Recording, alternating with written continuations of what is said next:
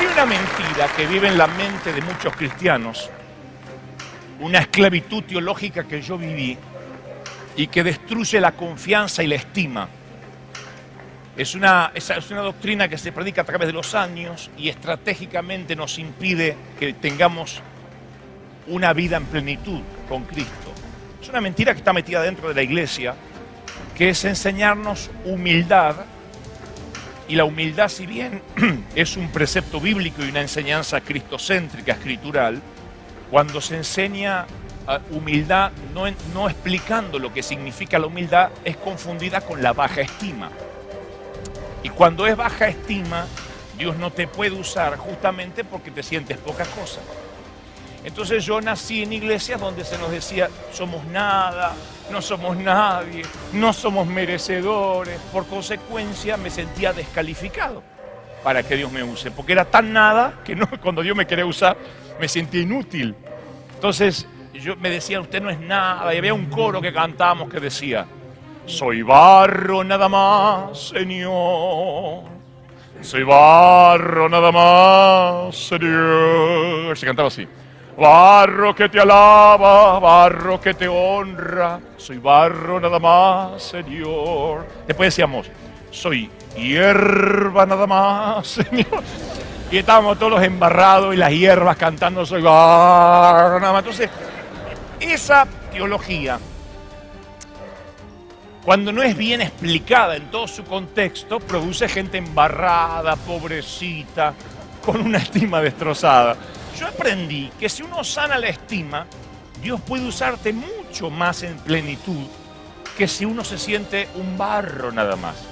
Yo me siento en deuda con Dios hasta el día de hoy, pero cuando nos menospreciamos a nosotros mismos, hacemos dos cosas. Pisoteamos la sangre de Cristo porque le estamos diciendo, la derramaste en mano, porque para morir por esta porquería ni hubiese muerto. Y número dos, achicamos a nuestro Dios, hacemos a un Dios eh, pequeño.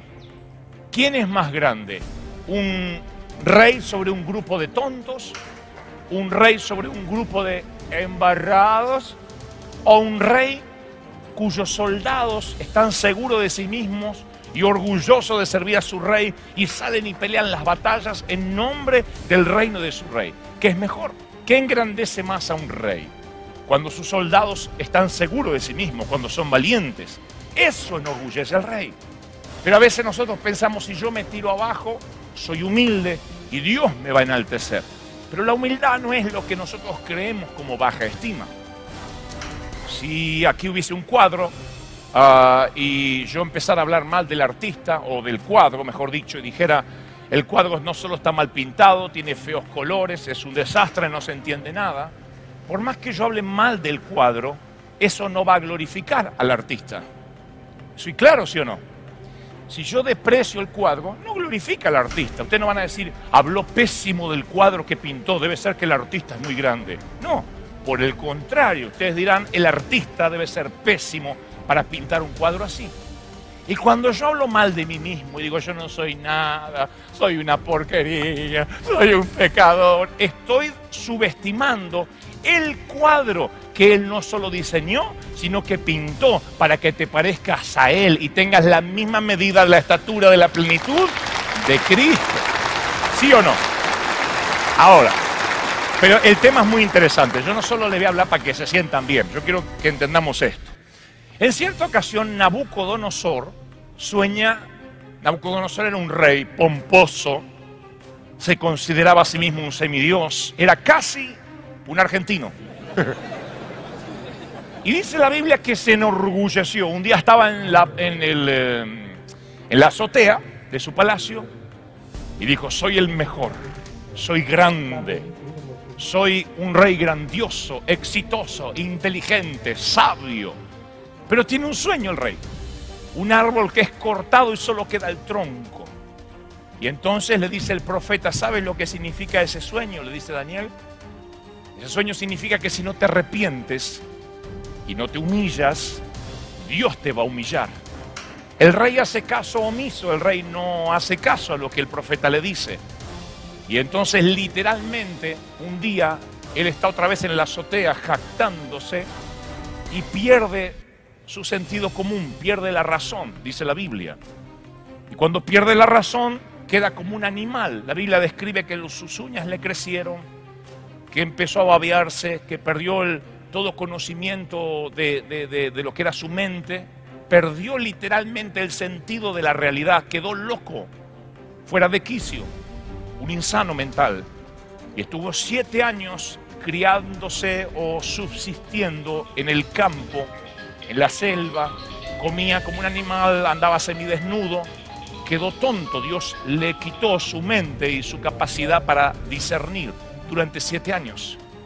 Pero dice la Biblia lo siguiente, luego de siete años. Después de siete años dice esto el rey. Mi dignidad, la majestad de mi reino y mi grandeza me fueron devueltas. Y mis gobernantes y mis consejeros me buscaron y fui restablecido en mi reino y mayor grandeza me fue añadida. Siete años después de haber pasado, de haber quedado loco y desnudo y estar como un animal, siete años después se vuelve a parar y dice, ahora Dios me restableció todo y soy más grande que antes. Ahora, si yo leo esto, digo, pero no fue por una declaración así que Dios lo mandó a, que quedara como loco. No fue por esto que perdió la razón. Pero en el versículo siguiente dice, ahora yo, Nabucodonosor, engrandezco y glorifico al Rey del cielo, porque sus obras son verdaderas y él puede humillar a los que andan en soberbia. ¿Cuál es la enseñanza? Que el problema no era en la grandeza del rey, sino que no reconocía de quién provenía esa grandeza. ¿Me están siguiendo, sí o no? O sea, después de siete años loco, volvió a ser el mismo grande y aún con más gloria que antes. Pero ahora, luego de decir, soy grandioso, agrega, y esta grandeza se la debo a Dios. Entonces no significa de que uno tenga que ser pobre, chiquito, subestimado, embarrado para que Dios te bendiga. Tú puedes ser un empresario exitoso con mucho dinero para darle al pastor Dante para que haga cruzadas, con mucho dinero para honrar a sus siervos y honrar a la iglesia y mantener misionero y decir, soy grande. Facturé este año 50 veces más que el año pasado, pero la gloria es de Dios, que Él me permita hacer los buenos negocios, que Él me abre puertas y eso es humildad. Aleluya. Moisés, dice la Biblia, era muy humilde. El versículo número 12.3 dice, escuchen esto que maravilloso. Moisés era muy humilde. Dice literalmente una versión, más humilde que cualquier otro hombre sobre la tierra. Ahora el tema es que estos primeros cinco libros de la Biblia los escribió Moisés. Y el que está escribiendo este versículo es Moisés. Y dice, Moisés era muy humilde, más humilde que todos los hombres que había sobre la tierra.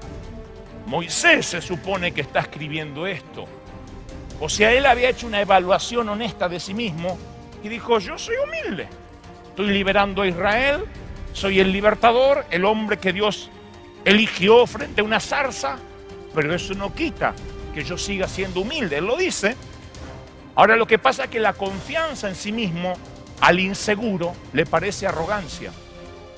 Cuando se para alguien y dice yo tengo la unción del Espíritu, Dios me ha enviado con una visión clara, sé exactamente dónde va esta iglesia. El inseguro dice, mmm, qué arrogante que es este.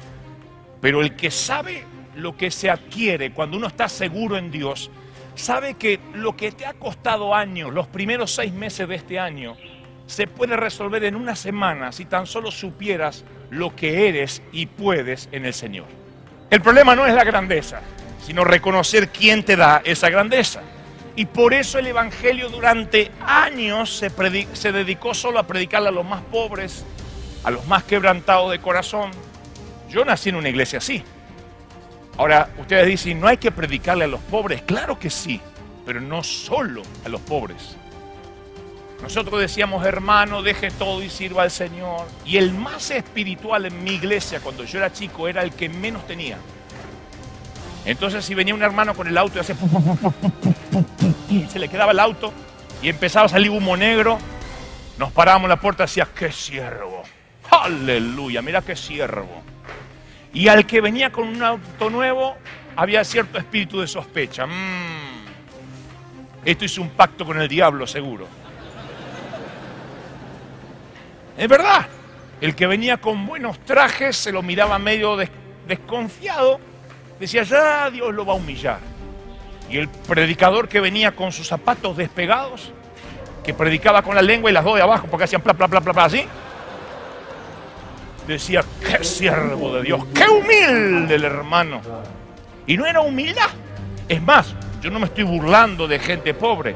Yo conozco predicadores que tenían zapatos mejores, pero se ponían los más viejos y rotos para que la gente viera que eran humildes. Y la humildad, damas y caballeros, no es pobreza. Yo he visto gente pobre, arrogante y orgullosa que no se digna a buscar trabajo y se está muriendo de hambre y no es capaz de limpiar un inodoro porque ese yo no estudié para eso y mata de hambre a los hijos porque es arrogante y no quiere tener la dignidad de trabajar de lo que sea. ¿O no? Y conozco, y así también conozco gente rica, sencilla, que uno la ve y ni se entera que es millonaria. El que está seguro de lo que es no aparenta. En el tema del ministerio es igual. Pedro dijo, no tengo plata ni oro, pero lo que tengo te doy. Lo que tengo te lo doy. Aleluya.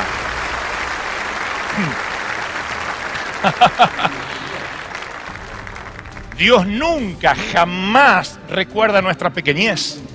Y nosotros hemos abrazado los creyentes la pequeñez para que todos los que se sientan insignificantes estén incluidos.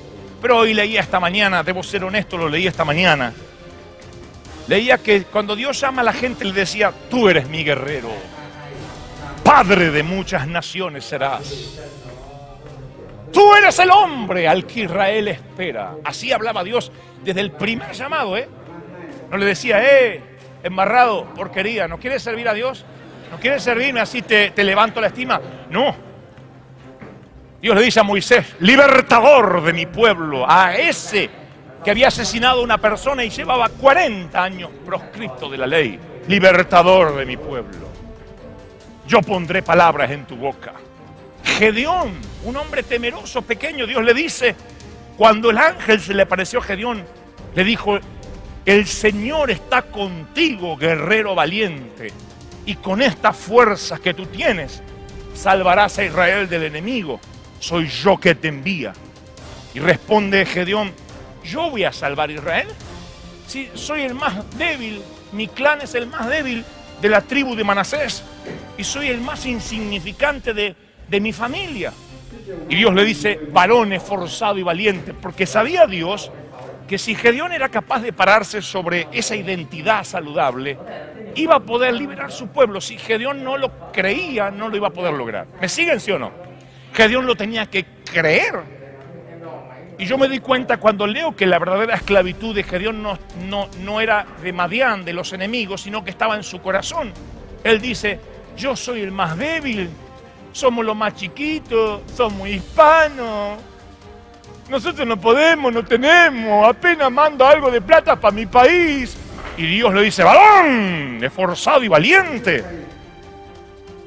No es que el enemigo es muy grande, sino que tú te sientes muy pequeño y por eso no has logrado lo que naciste y Dios te trajo para lograr. Y Dios te dice hoy, no me busques a mí, me digas, tú eres grande, yo ya lo sé. Cree que tú eres grande en mí y yo te voy a glorificar. Y yo te voy a bendecir. ¿Cuántos creen en esto? Díganme amén. Aleluya.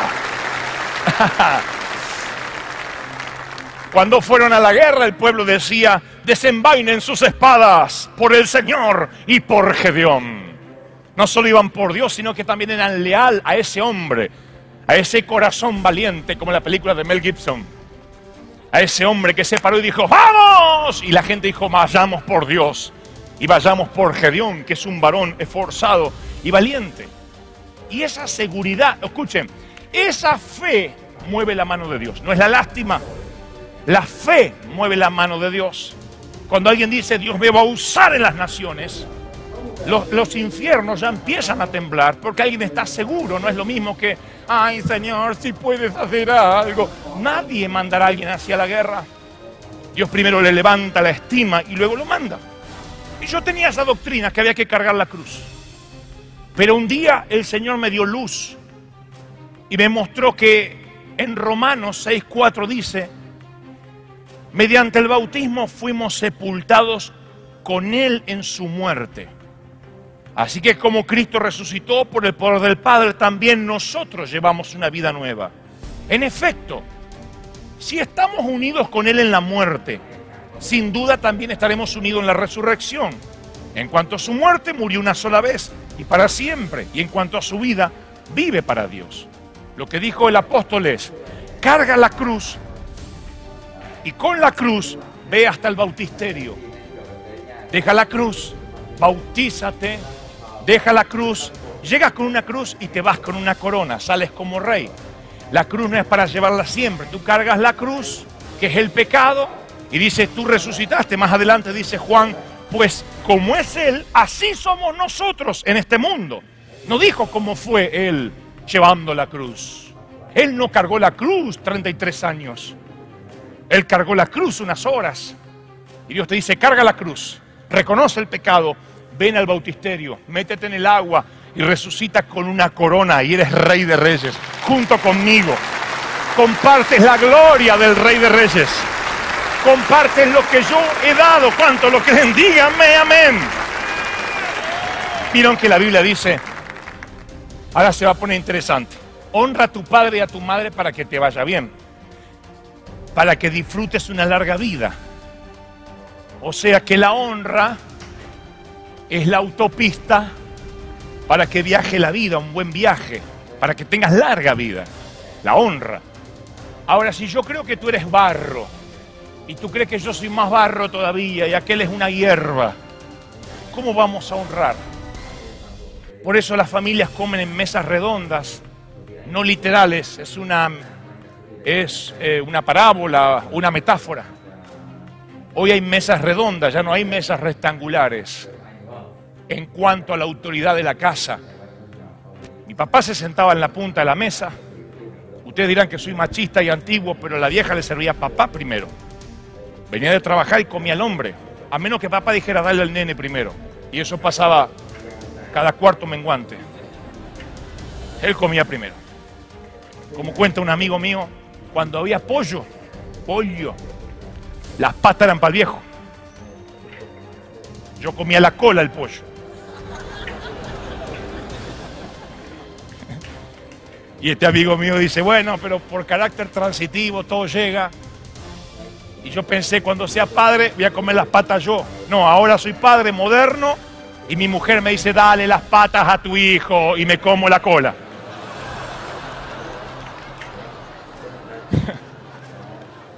Pero hoy en día nos vamos de vacaciones donde el nene quiere. Vemos el programa que la nena quiere mirar. La nena son 18, 25, 32. no hay honra. Yo he visto a los jóvenes hoy en día sentado, la embarazada está así a punto de explotar y el mocoso sentado con los brazos cruzados porque se perdió la honra, por eso no tienen larga vida. ¿Por qué se perdió la honra? Porque cuando uno no se valora a sí mismo, tampoco valora al otro. El orgullo no es creerse algo, el orgullo es subestimar y menospreciar también a los demás. Entonces, como se perdió la honra, yo lo veo que las honras se han perdido en las casas. Veo en la forma en que los hijos a veces le contestan a los padres. Tengo familias, amigas, he ido alguna vez, he compartido donde el hijo le contesta de una manera, y todos los hijos pueden tener un mal momento, pero uno se da cuenta si ya es un callo, si es una costumbre, una forma de ser. Nene, ¿querés comer? No quiero comer eso, hacemos otra cosa. Bueno, ¿qué te hago, hijo? La mamá. Esta papa no voy a comer, hacemos otra cosa. Ay, hijo, le hago una sopita, ya vengo, le hago una. Él come otra cosa. Unas ganas de meterle la papa por la oreja y decirle, va a comer desgraciado. Encima que comes gratis. Encima que no paga. Encima que no paga el tipo que vive de prestado, que no, no paga ni la renta de la habitación. No entres a mi habitación que es mía. Y es Kosovo, hay que caminar entre las medias, los calzones sucios, porque no se le puede tocar al Señor.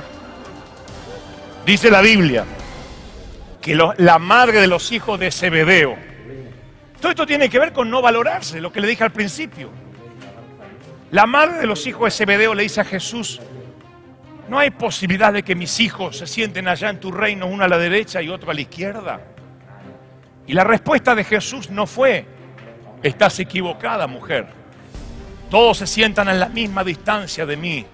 No hay lugares privilegiados para nadie. No dijo eso. Le dijo, eso lo decide mi Padre. Lo cual me enseña de que hay niveles de honra en la mesa. Y la Biblia está llena de ejemplos del mayor y del menor. Él dijo, eso lo decide mi Padre. O sea que hay posibilidad de que alguien va a tener más honra que el otro. ¿Cómo se gana la honra? Honrando. ¿Saben por qué yo honro? Porque soy honorable, porque yo soy honorable.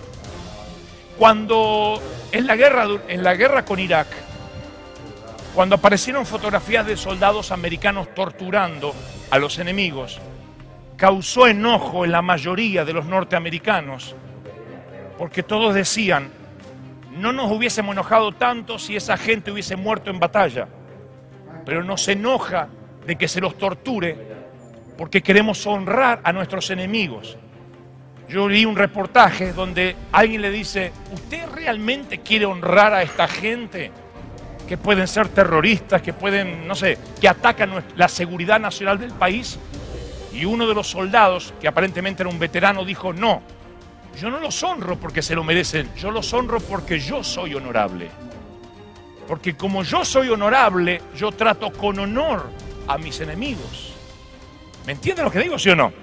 Eliseo sabía que necesitaba la unción de Elías. Y entonces lo honró a Elías. Yo no creo eso de que todos somos iguales y que, bueno, yo no necesito de nadie. Siempre Eliseo reconoce la unción de Elías. Y entonces la unción viene sobre él en doble porción porque lo honró. Una mujer cuya honra la hizo famosa. La mujer que derramó perfume. ¿Se acuerdan delante de Jesús? Y cuando la mujer derrama perfume ante Jesús, los discípulos, mente de pobre, dicen, pero qué desperdicio, porque ellos no se valoraban todavía a sí mismos, ni valoraban a Jesús. Y como eran barro nada más, se movían por necesidad. Y Jesús dijo, déjenla porque pobres siempre van a tener. Yo les digo que lo que esta mujer está haciendo se va a contar en memoria de ella hasta el último día que se predique en la tierra, porque lo que está haciendo es honra. ¿Me están siguiendo, sí o no? Cuando alguien me dice, tome pastor, o yo le digo a alguien, toma, esto es un regalo, ay, pero no lo necesitaba, lo sé, te estoy honrando. ¿Por qué adoramos a Dios? ¿O alguien se pensó que Cristo, Dios, necesita nuestra adoración? Dios se levanta los domingos y dice, qué baja estima que tengo hoy, ay, que mejor que mi pueblo me diga algo hoy. Ojalá que me digan que soy poderoso porque hoy me siento tan débil. No, Él no lo necesita. Lo hacemos y decirle, te agradezco Señor, ya que te lo necesitas, ya que te hace falta que te digan cosas lindas. No, lo hacemos porque Él se merece la honra.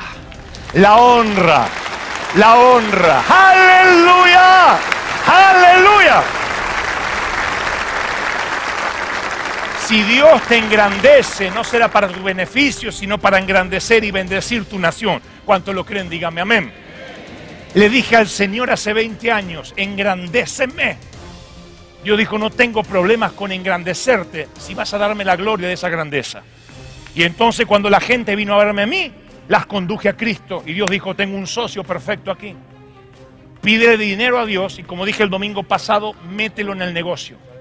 Dile, Señor, dame mucho, pero mucho dinero, que yo voy a ser muy sembrador y voy a sembrar y dar y dar y dar para que sea un ecosistema que nunca se termine y vas a ver cómo Dios encuentra un socio en ti y no te deja de bendecir.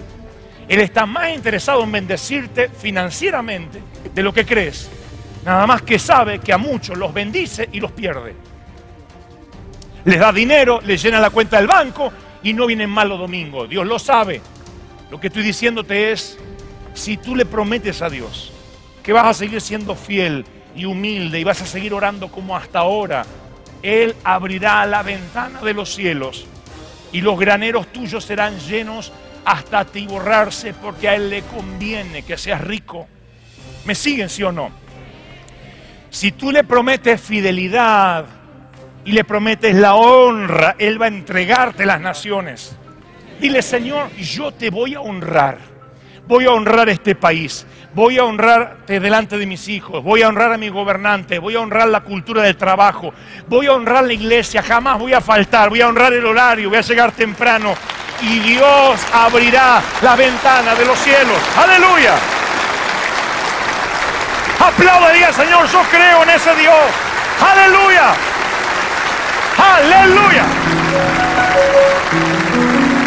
Mis amados, pidan para pagar el mortgage, pidan para manejar un banco. No pidan para pagar la hipoteca, pide a un Dios grande. Tal, muéstrame el tamaño de tu sueño y te mostraré el tamaño de tu Dios. Sueña grande. Si le hubiese dicho al Señor, no quiero un estadio, no me haga famoso, aunque sea servirte en lo poco, hoy estaría en algún rincón de Buenos Aires haciendo poco. Pero soñé, dije, tú eres un Dios grande. ¿Y saben qué me dijo Dios? Es que tú eres barro. No, me dijo varón esforzado, valiente. Tú serás mi José. Y cuando yo le transmito dignidad al pueblo hispano, siento la alegría del Señor que me dice, vamos, sígueles diciendo que yo morí por ellos, por algo más que congregarse. Morí por ellos para que marquen la diferencia como José. ¿Dónde están los José? Aleluya. ¿Dónde están los Elías que confrontaban reyes? ¿Dónde están los Daniel que se paraban en las cuatro cortes de reyes impíos y proclamaban la verdad? ¿Dónde están los Nemías que reconstruían los muros de una ciudad derribada? Nosotros somos el cambio. Nosotros somos los que administraremos los graneros. Nosotros somos. Póngase de pie y diga, nosotros somos. Aleluya. Aleluya. Aplauda al Señor de señores y al Rey de reyes. Aleluya. Santo.